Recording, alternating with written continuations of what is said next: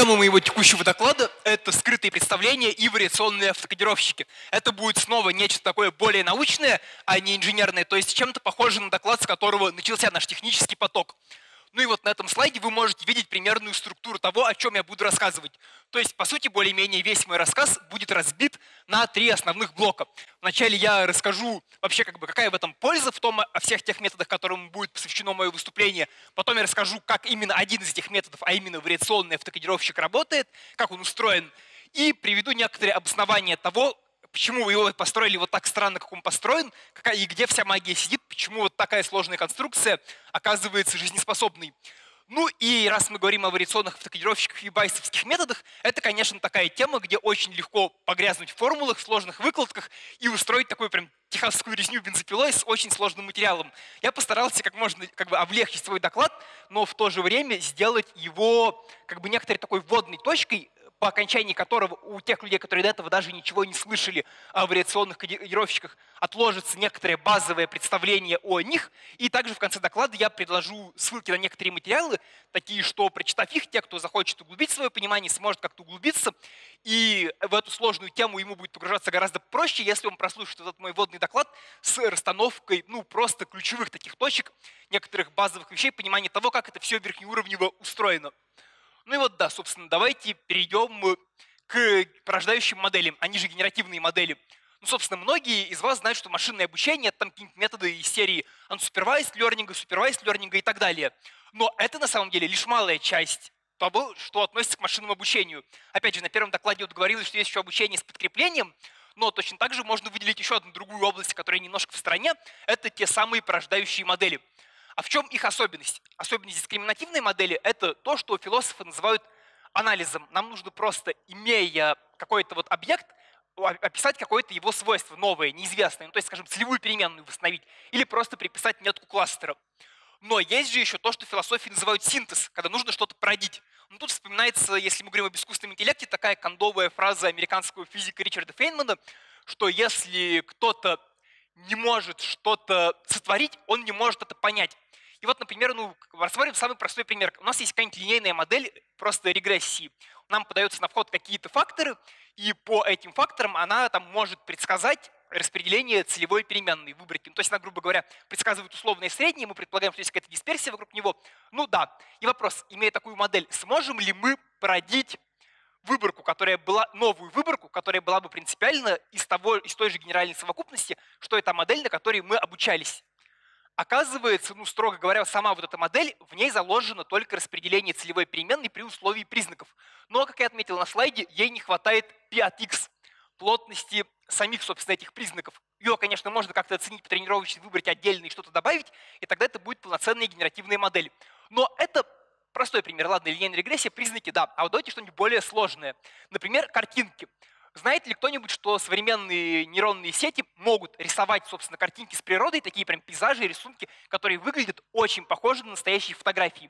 Они почти не размытые. То есть что делают? Нейронки показывают кучу пейзажей с озером, и она оп, и сама учится рисовать прямо, ну, реально хорошие фотографии. Вот, это уже сложнее, чем просто там что-то восстановить. И вот это полная мощь дискриминативных моделей и, в смысле генеративных, а не дискриминативных. Дискриминативное – то, что разделяет, собственно, обычные модели, которые предсказывают целевую переменную. Генеративная – это модель, которая порождает новые объекты. Опять же, вот на слайде есть некоторые формулы, которые с точки зрения байсовской теории машинного обучения объясняют, как, что, почему оно работает.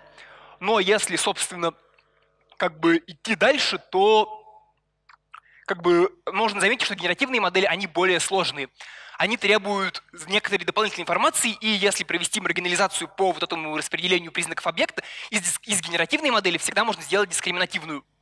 И давайте еще, чтобы объяснить вам, почему генеративные модели это важно, я приведу прям очень практически фундаментальный пример того, как их сейчас пытаются люди применить.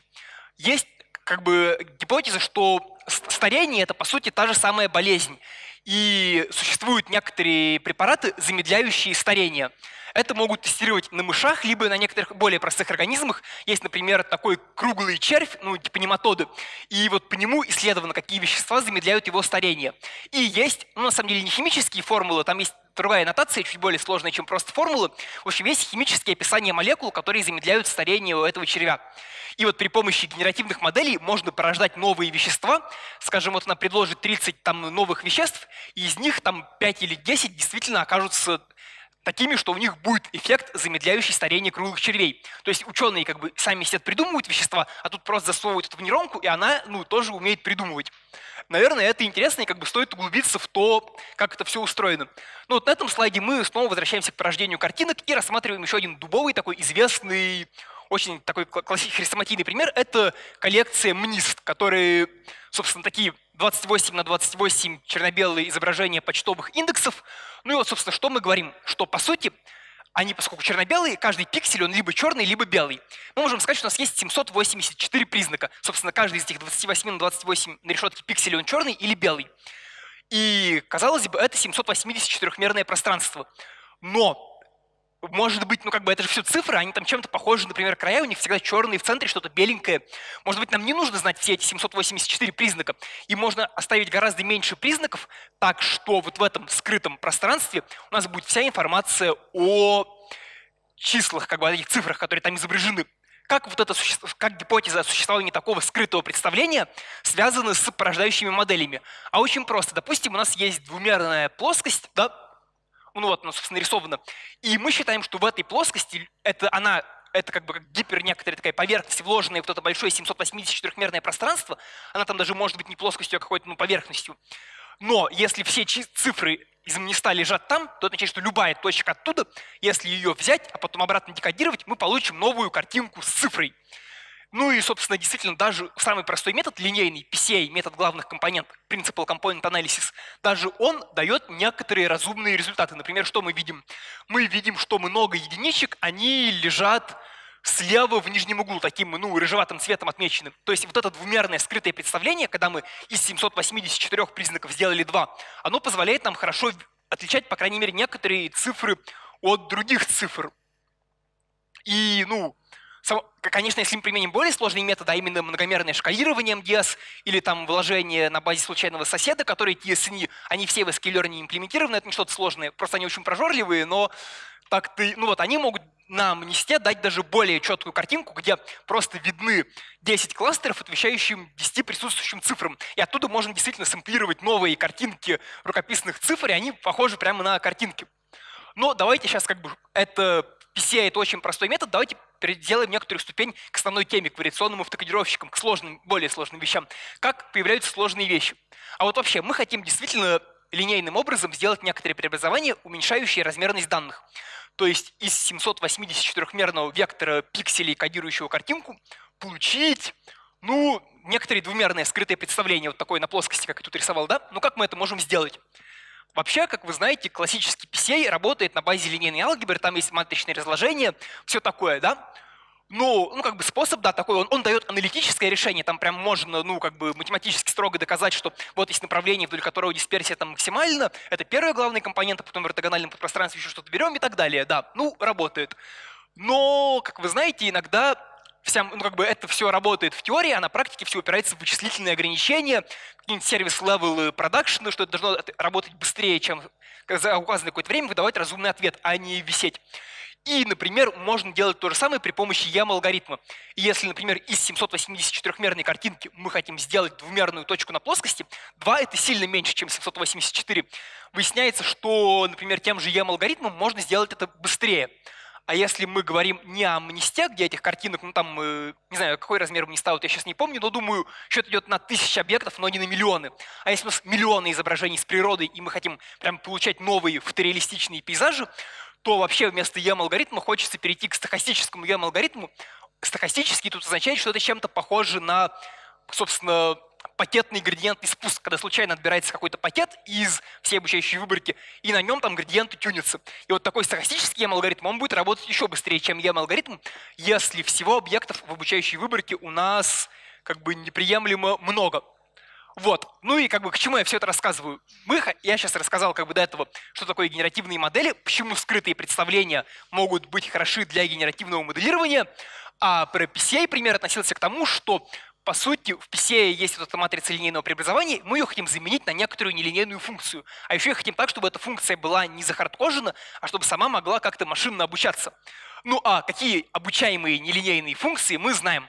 Конечно же, нейросети.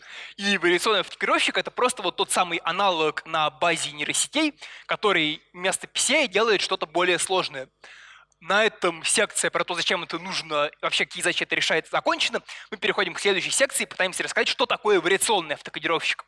Ну, вариационный автокодировщик штука сложная, давайте с более простой штуки. А что такое вообще просто автокодировщик? Ну, собственно, примерный вид того, как устроен э, автокодировщик представлен вот на этом слайде. Как вы видите, картинка взята просто из Википедии.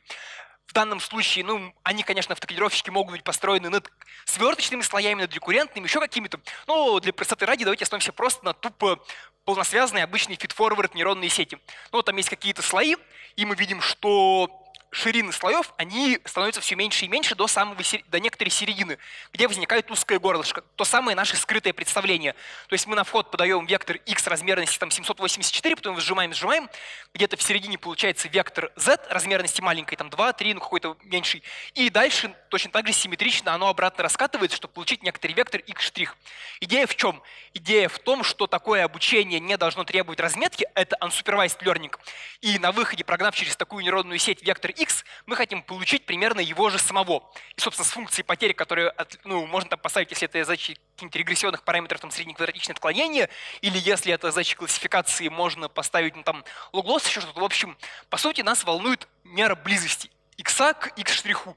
Чем больше, чем ближе восстановленный штрих к x, тем лучше. С такой функцией потери мы обучаем вот эту конструкцию и какие бенефиты мы имеем после того, как все это дело будет обучено.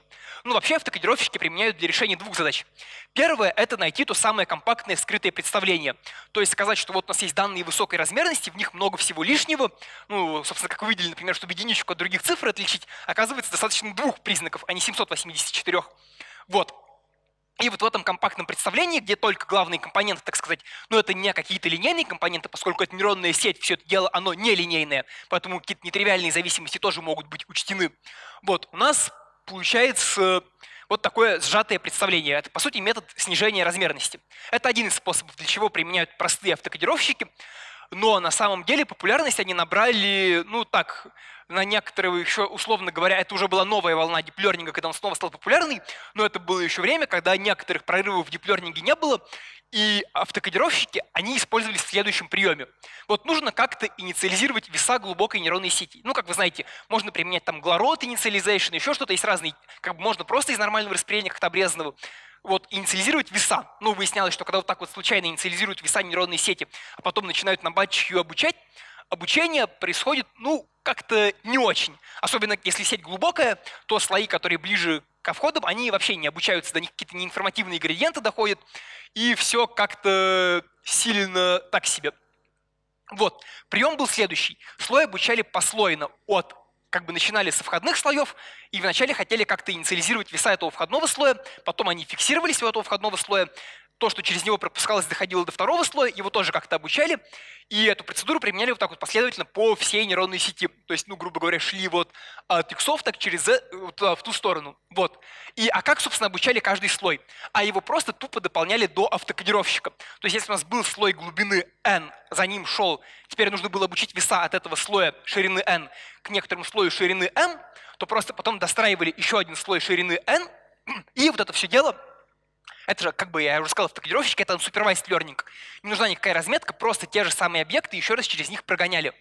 Это служило некоторым автоматически настраиваемым фичи-экстрактором, благодаря которому каждый из слоев уже был инициализирован не рандомными весами, а некоторыми весами, которые учились понимать доходящие до них данные.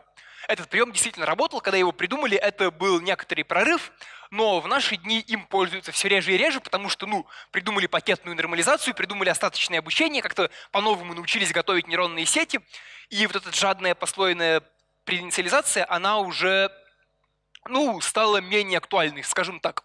Вот, это мы обсудили просто, автокодировщик простой.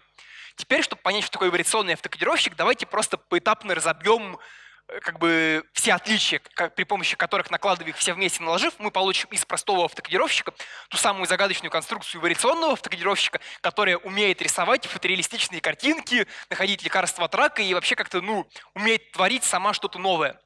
Как это получается? На самом деле основных отличий их более-менее три. Первое, ну что, собственно, что, что вообще возвращает автокодировщик? Он возвращает объект, ну как бы новый. Возможно, этот объект немножко отличается от исходного, ну когда вот мы через него прогнали все то же самое, но это объект. В вариационном автокодировщике, он, собственно, ну, я, кстати, не сказал, но это, наверное, поня- видно из этого слайда. Видите, тут первая часть, та часть, где слои постепенно сужаются, она называется кодировщиком, она создает этот скрытый код, скрытое представление, а та часть, которая потом из этого скрытого представления обратно восстанавливает объект, она называется декодировщиком. Так вот, мы, вы автокодировщик и кодировщик, и декодировщик, они на выходе возвращают не объекты, они возвращают параметры некоторого вероятностного распределения. Откуда потом из этого распределения, если эти параметры туда подставить, ну скажем, ну, давайте я объясню как бы на конкретном примере. На самом деле распределение более-менее всегда одно и то же. Это просто гауссовское распределение с диагональной ковариационной матрицей. То есть нам нужно найти вектор средних и нужно найти то, что стоит в ковариационной матрице на диагонали. И вот если эти числа, которые предсказывают нейронные сети, кодировщики или декодировщики куда-то подставить, то, например, ну, в данном случае для кодировщиков всегда гауссовская используется, вот, то потом можно будет оттуда сэмплировать объекты. И как раз сэмплировать это и значит порождать. То есть, ну, собственно, берем какое-то многомерное распределение, из него что-то выкидываем, и вот что-то получается. Это первое отличие, потом я его освещу подробнее несколько. Второе важное отличие – это то, что между кодировщиком и декодировщиком есть некоторая прослойка. То есть если вот на картинке с простым автокодировщиком просто код, как бы слой, он был связан там с каким-то слоем энкодера, а потом декодеры начинается просто дальше. Пристраиваются новые слои, вот как они пристраиваются в обычный feed-forward neural network, так вот они и пристроены. В вариационном автокодировщике, строго говоря, это не так. И про это я тоже дальше расскажу. Ну и, наконец, третий момент чтобы вся эта магия имела под собой строгое математическое обоснование, вариационный автокодировщик нужно обучать с особой функцией потерь, которая прямо-таки восходит к вариационному байсовскому выводу и вот к этим сложным вещам. И про это я тоже расскажу, но, собственно, как бы пока что должно отложиться в голове. Что вот при помощи наложения вот этих трех отличий, которые верхнеуровнево звучат так, из простого автокодировщика делается вариационный автокодировщик. И давайте теперь эти отличия разберем подробнее. Ну, собственно, вообще, как устроен вариационный автокодировщик. Вот у нас есть кодировщик, да? Это нейронная сеть. На вход она получает признаковое описание объекта. То есть, если вот мы рассматривали пример с мнистом, то есть с набором черно-белых картинок 28-28, то ему на вход подается 784-мерный вектор, компонента которого нолик или единичка, в зависимости от того, является ли пиксель на картинке черным или белым. У этой нейронной сети есть какие-то веса, в данном случае они обозначаются буквой φ. И Собственно, что эта нейронная сеть возвращает? Она возвращает, как я уже сказал, на, на выходе должно получиться многомерное нормальное распределение с диагональной ковариационной матрицей. Если мы говорим, что скрытая размерность она равна некоторому h, где h сильно меньше, чем размерность x, ну, то есть, например, 2, а не 784, если мы говорим о мнисте, то вот двумерное гауссовское распределение, оно параметризуется четырьмя числами. Двумя координатами среднего этого многомерного нормального распределения и двумя диагональными компонентами ковариационной матрицы. Вот, и, собственно, вот это распределение, из него нужно потом будет сэмплировать некоторые как бы уже векторы двумерные, которые будут представлять собой некоторые скрытые представления объектов того же класса, что и объект, который прогнали через кодировщик. Вот так устроенная штука, она и называется кодировщиком. Теперь про декодировщик. Ну, собственно, как еще можно было заметить из того, что указано на слайдах, кодировщик называют порождают нейронной сетью вывода. Вывод имеется в виду от английского слова inference. Это, я еще объясню, почему так, но эта сеть, это, она как бы, она связана именно с вариационным байсовским выводом. А декодировщик – это, собственно, то, что порождает. Именно он творит новые картинки, потому что если, например, мы хотим делать новые изображения, мы на самом деле подаем более-менее случайный шум. Ну, как я уже сказал, произвольную точку на плоскости, например, двумерной, если взять, из нее потом PCA обратно может сделать картинку. Так и тут подается в декодировщик какие-то случайные числа низкой размерности, а он из них сможет сделать распределение, откуда можно сэмплировать объекты. Ну и там в байсовской терминологии это может быть posterior predictive distribution или prior predictive distribution, в зависимости от того, откуда был взят шум. Это был просто чистый шум, тогда это, конечно же, prior predictive distribution, потому что ну, мы не брали никакой объект, нам просто возвращаются объекты из мониста, просто картинки с цифрами. А если распределением z было получено что-то, откуда прогнали, например, конкретную циферку, какую-нибудь единичку, написанную человеком, который единичку пишет, например, ну, как бы с таким хвостиком снизу, то, по сути, будут сэмплироваться объекты, чем-то похожие на цифру 1, написанную в той же манере, в какой ее писал человек, пример которого был подан на вход. Вот. В общем, декодировщик — это порождающая нейронная сеть. Все способности по порождению, они сидят в декодировщике. Кодировщик нужен просто как бы как инструмент, который решает некоторую такую, ну, скорее математическую задачу. Вот как устроен декодировщик? Он получает уже некоторый пресэмплированный вектор скрытого представления, у него есть какие-то свои веса тета, и на выходе он возвращает как раз то некоторое распределение вероятностное в исходном признаковом пространстве. То есть если это мы говорим о мнисте, то он уже возвращает некоторые, ну, на самом деле параметризировать, конечно, бернулевские вернее, параметризировать картинки на мнисте можно многими способами. Самый естественный из них – это через распределение Бернули. А именно для каждого из 784 пикселей мы указываем вероятность того, что этот пиксель черный. Как бы, например, там это может быть 0,5, 0,3, 0,7, что означает, что первый пиксель бывает черным с вероятностью 0,5, второй там с вероятностью 30% и так далее. Вот. В общем, это, вот так, если мы так параметризовали распределение, то нам нужно получить на выходе вот эти 784 вероятности того, что соответствующий пиксель окажется черным. Если у нас какая-то другая задача и распределение параметризовано как-то еще, у этого распределения могут быть другие параметры. И вот именно эти параметры в том количестве, сколько их есть, и должен возвращать декодировщик, чтобы потом при постановке этого параметра получить уже конкретное вероятностное распределение, откуда можно просто брать и сэмплировать объекты. Тут, конечно, небольшой комментарий, что внимательный читатель заметит, что веса одной нейронной сети, а именно декодировщика, они почему-то стоят в условии модели, когда мы говорим о условной вероятности какого-то объекта при условии его скрытого представления и весов, а при этом в кодировщике веса просто стоят с индексом снизу. Но это как раз связано с тем, про что я не так давно говорил, может минуту или две назад. Это связано с тем, что декодировщик — это прямо то, что восходит к вероятностной модели, а кодировщик — это в некотором роде инструмент. Итак, мы разобрались с одним отличием сейчас. Мы поняли, что в отличие от, вари... от простого автокодировщика, в вариационном автокодировщике предсказываются вероятностные распределения, а уже потом из них берутся самплы. И как только мы это поняли, вообще-то мы тут же понимаем, что у нас есть некоторая проблема, и для решения которой и требуется второй трюк. А в чем проблема? Хочется градиентным спуском обучить весь автокодировщик от, то есть ошибка должна от выходов как-то дойти до самых входов. Где у нас ошибка потеряется? Ну, вообще говоря, как мы понимаем, нам нужно где-то сэмплировать из вот этого распределения, предсказанного кодировщиком, потом сэмплировать объекты. И, ну, собственно, сложность в том, что формально зависимости нету при взятии производной по таким весам. Ну, как, ну почему? Потому что вот мы пресэмплировали, мы знаем средний, знаем ковариационную матрицу, а хотим, как из него потом из такого распределения пресэмплировали вектор, его подали дальше на вход. Но этот вектор случайный, он формально константа от параметров своего распределения. Конечно же, ну, это, если подумать, это невелика беда, это скорее формальность. В общем, нам нужно просто периметризовать этот вектор, а именно давайте его пресэмплируем вначале из обычного стандартного гауссовского распределения соответствующей размерности, а потом его на вот эти средние сдвинем и повернем, там, растянем в соответствии с ковариационной матрицей.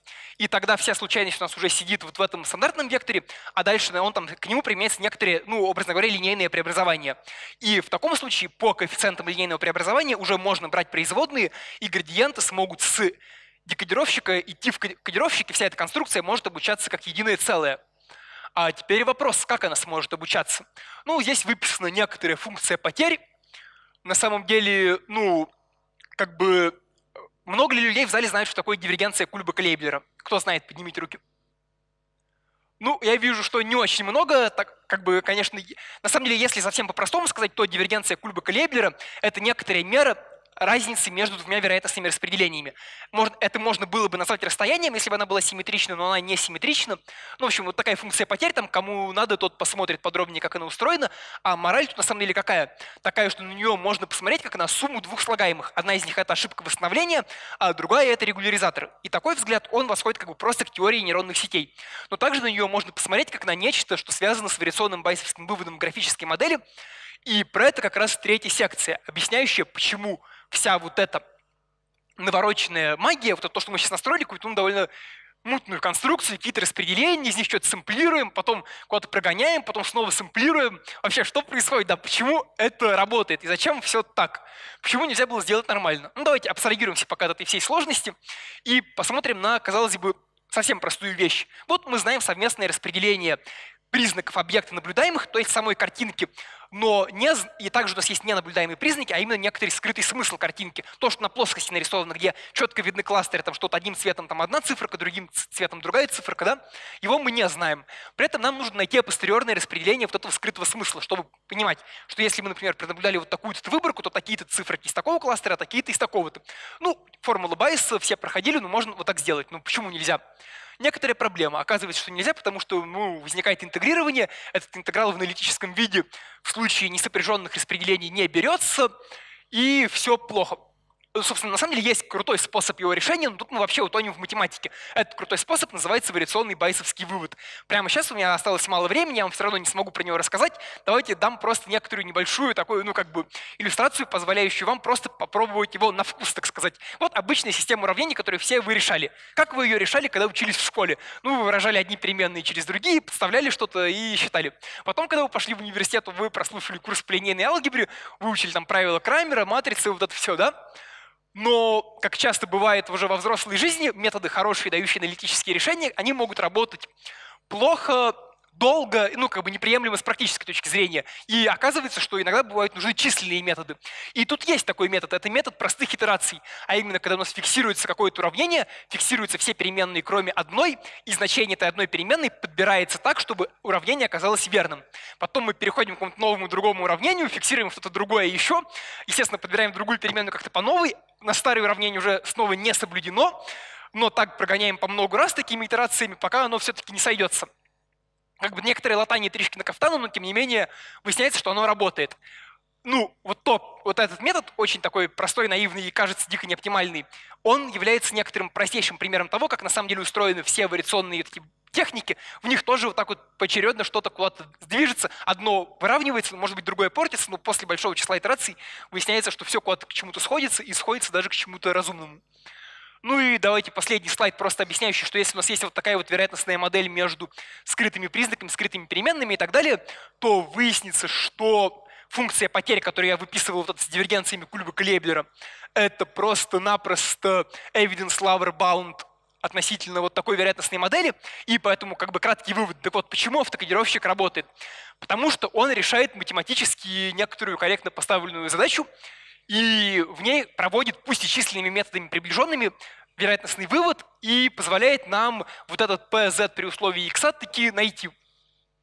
На этом, пожалуй, все. Ну, как бы, конечно, я понимаю, что если вы до этого ничего не слышали о вариационных автокодировщиков, то после моего доклада у вас прям такого уверенного понимания позволяющий вам, например, проходить собеседование, где вас будут спрашивать про вариационный кодировщик, его у вас не появится. И, конечно, вам нужно бы, если вам это интересно, вам бы стоило почитать что-то еще.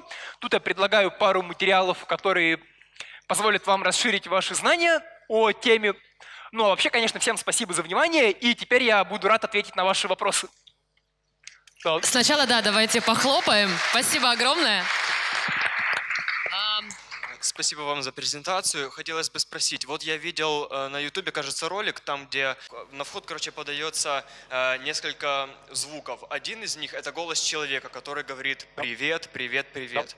Второй э, вход – это звук, например, ну, пылесоса или удар чего-то об что-то. И на выходе эта модель выдает будто бы пылесос говорит привет. Да, да, я понял вопрос. Я да. хотел спросить, с помощью каких моделей достигается такой высокий уровень абстракции? Да, да, да. Смотрите, это немножко другая тема. Это то, что называется стайл трансфер. Может быть, на ту же тему тоже пример популярный, может быть, на ютубе видели. Например, берут картину какого-то художника, который рисует в специфической манере, например, Ван Гог, потом берут обычную фотку, засовывают ее в штуку, и из фотки превращается картина, нарисованная Ван Гогом, с тем же самым. Это все на ту же тему. Это, смотрите, как это, ну, как бы, если интересно связи с вариационными автокодировками, моделировщиками, то, наверное, давайте отойдем к генеративному моделированию. Там есть такое и как бы вариационный автокодировщик — это не единственный метод. Более того, сейчас даже есть более популярный метод, но он просто менее интересный, такой более простой, можно сказать. Это Generative Adversarial Neural Networks. И ключевое слово здесь, конечно, adversarial.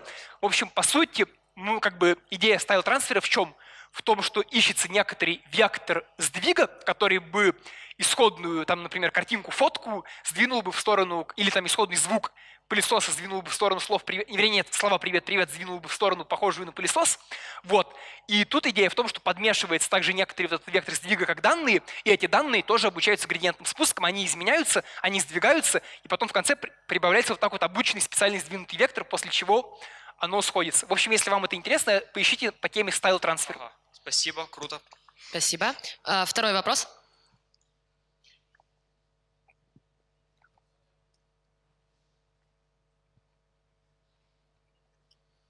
Снизу, да. Вот так? Да. Здравствуйте, меня зовут Филипп. Вот я в первый раз слышу про эти кодировщики, но правильно ли я понял, что а, в зависимости от того, как, как, как мы строим модель для кодировщика, мы в каком-то смысле можем моделировать там, такие варианты, как а, TensorTrain или High Order SVD. То есть мы в, в тоже делаем некое сжатие а, информации, в, ну, то есть пытаемся объяснить максимальный объем дисперсии. Да, ну как бы на самом деле разница в чем? В том, что СВД там это все матрица, это линейная алгебра. Там все линейно. При помощи вариационных автокодировщиков, собственно, как я говорил, вводится нелинейность, потому что ну, функции активации у нейронов могут быть там произвольного сложного вида. И да, хочется, ну как бы даже обычный автокодировщик, не вариационный, даже он уже позволяет найти некоторые нелинейные сжатия. То есть просто автокодировщик, его можно назвать нелинейным аналогом PCA. Да. А вариационный это уже даже, ну, как бы, как говорил, нечто большее, а именно то, что в байсовской парадигме работает и пытается работать со скрытыми смыслами, прямо как с распределением. Вот в терминах вот этой вероятностной модели, которая вот на этом слайде скажем. А, да, и второй вопрос. А, вот мы в когда мы делаем, пытаемся определить внутренний слой, мы говорим о том, что мы не выделяем в никаком смысле какое-то подпространство или базис, которому хорошо объясняет ту, ту ошибку, а мы пытаемся делать какое-то предположение о распределении скрытого слоя и делать, э, ну то есть в какой момент происходит параметризация вот того семейства, вот того внутреннего множество, которое мы пытаемся выбрать. Да, спасибо, очень хороший вопрос. На самом деле, один важный такой тоже техническую деталь я пропустил, когда говорил. На самом ну, это на самом деле на слайде-то это где-то было даже, ну, собственно, да, я этого просто не проговорил, но вот этот момент. Видите, здесь написано, что у нас есть априорное распределение на скрытый вектор. Этот вектор, его обычно полагают пришедшим из стандартного нормального распределения. То есть хочется, чтобы эти вектора приходили из такого распределения. А почему так делается? Потому что хочется, ну как бы... Потому что мы предполагаем работу с выборкой, которая вот нам пришла, что она тоже была по-нормальному. Мы хотим, чтобы и внутренняя была тоже нормальной. Чтобы скрытый вот этот вектор TI, который возникает, который можно просэмплировать из скрытого слоя, чтобы распределение, откуда оно сэмплировалось, было похоже на стандартное нормальное. Это же видно и в дивергенции Кульба-Клейбера, это расстояние между распределением, предсказанным кодировщиком, и вот этим вот стандартным нормальным. А в чем идея? Идея в том, что можно просто одну и ту же цифру отобразить, например, в 10 разных кластеров, которые лежат в совершенно разных углах признакового пространства, а потом просто запомнить как бы декодировщиком, что откуда бралось, и тупо это восстановить. Ну, можно, но, но что плохо? Плохо то, что у нас не будет этого самого компактного скрытого распределения. Как бы у нас будет нечто сложное, просто какая-то каша, и по сути это будет оверфитинг под то выбор. мы дисперсию вот нормального распределяем, типа пытаемся отнормировать вот, вот, вот да. этот разброс. Да. Последний мы... вопрос. У нас тут в презентации, мне кажется, была маленькая ошибка. Да. Вот на, на энкодере, вот если все слушать по да. вашему докладу, до, до этого, там где картинка была, там где нейронная сетка садилась в узенькое место, потом широкое. Это слайд или нет? Дальше, дальше. Ну, короче, какой? Вот, вот это не совсем правда, потому что слева должен быть x, а справа должен быть x штрих, и должно быть дописано о том, что а разница... Еще раз, где что должно быть? Ну, как вы видите, картинка из Википедии английской. А, ну, смотри, у нас левый слой, мы получаем какой-то объект x, а правый мы стремимся, чтобы он был похож на x, и мы в идеале получаем такой же, но в реальности мы можем получить, который отличается от какой-то погрешностью, которая нас устраивает. То есть, на самом деле, это разные иксы. Да, ну да, тут, на, на самом деле, как бы, что значит обозначение x штрих? На всякий случай, конечно, штрих не, не производная, разное. это просто другой x. Как бы некоторые друг, ну, ну, можно обозначить буквы y вообще, например, эту штуку. Как бы идея в том, просто почему не обозначен y, потому что мы говорим, что то, что должно быть в аутпуте, оно должно быть очень сильно похоже на то, что есть на входе в инпуте. Да, извините, я не заметил штриха, у меня плохое зрение, вот. Все, да, да, тут я, ну да, тут штрих. Все, спасибо большое. Да, как бы в идеале хотелось бы получить ровно x, но мы его, конечно, не получим. А, помоги, Антон, пожалуйста, вон вверху молодой человек с ноутбуком белым. Здравствуйте, спасибо за доклад. Э, У меня такой вопрос. Вариационные автоэнкодеры э, и э, генеративно-состязательные нейросети. То есть вот зона применения э, автоэнкодеры вообще сейчас актуальны? Есть да, да, те хороший- задачи, в которых они обыгрывают? Ну, то есть Да. лучше. Очень хороший вопрос. На самом деле, я честно скажу, я в, в последней там новых модификациях Generational Adversarial Networks не силен, как бы где, ну как бы есть немножко, может быть, устаревшая информация, но тем не менее. Когда мы говорим о Generative Adversarial Networks, они сильны чем? Например, если мы говорим о фотографиях, они позволяют порождать фотографии более высокого качества, там как бы пикселей вообще почти не видно, как бы призумить, там везде четкая картинка, нет никаких размытых граней, все четко, красиво и качественно. Поэтому с такой точки зрения Generative Adversarial Neural Networks лучше. Но при этом, по крайней мере, те Generative Adversarial Neural Networks, которые я знаю, они относятся к тому, что по-английски называют как бы, не, ну, как бы неявные модели, в общем, если это можно перевести. В них мало что постулируется, и, например, как бы вот та задача, где, где вариационные автокодировщики, как бы, что у них лучше. Допустим, вот мы хотим э, например, я не знаю, как бы получить некоторые оптимизированные предложения. Ну, скажем, вот у нас есть какое-то предложение на каком-то языке, мы, оно может быть, например, скажем, нам не нравится его стиль, оно слишком просторечное, еще какой-то, да? Или, например, у нас какие-то картинки, мы хотим делать все картинки немножко там в более такой цветовой палитре какой-нибудь, скажем, все в желтые цвета смещать по возможности, сохраняя суть картинок, да? И вот в вариационных автокодировщиках у нас в явном виде существует это скрытое представление. Есть работы, которые позволяют находить векторы, которые нужно добавить к скрытому представлению, так, чтобы на выходе после прогона через декодировщик вот этой суммы того, что исходно было просэмплировано, плюс сдвигающего вектора, оно в большей степени обладало желаемыми свойствами. То есть вот тут, если у него такая фишка есть, это, например, как бы какая работа я вам могу посоветовать? Работа один из авторов Duvinode, ну, D-U-V-E-N-A-U-D. И работа на- называлась что-то там с молекулами во-первых, там молекулы, которые light emitting, светящиеся, порождались, а во-вторых, не то лекарство от рака, не то еще какие-то целебные молекулы он порождал. И вот при помощи именно вариационных автокодировщиков там оптимизировались какие-то свойства молекул, которые порождались. И вроде бы с Generative Adversarial Networks так, ну, я не слышал, что так можно было прямо залезать во внутренности и как-то управлять тем, что порождается. Спасибо. Есть еще вопросы? Там-там. Это чуть-чуть дольше будет.